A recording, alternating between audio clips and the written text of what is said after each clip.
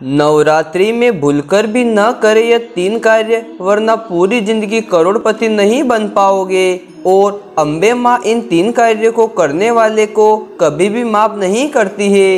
यदि आप भी अम्बे माँ के भक्त हो तो कमेंट सेक्शन में जय अम्बे माँ ज़रूर लिख दीजिएगा।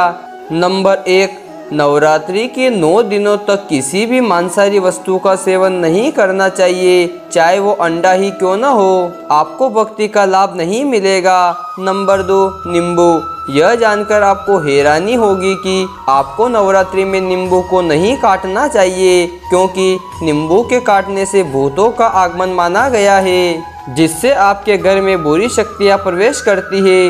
इसीलिए नवरात्रि में नींबू को नहीं काटना चाहिए। नंबर तीन, यदि कोई शराब पीकर माताजी के आसपास भी भटक जाता है तो अम्बे माँ उसे कभी भी माफ़ नहीं करती है। या कहे, उसके जीवन में भयंकर कष्ट आते हैं। और यह बात तो हकीकत है कि मैंने अपनी आँखों से देखा है कि दारू पीने वाले या शराब पीने वाले माताजी के आसपास भी भटक जाते हैं तो यह सबसे अशुभ संकेत माना जाता है।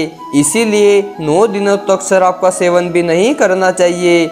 ये थे नवरात्रि में न करने वाले कार्य, विशेष आप ध्यान रखिएगा।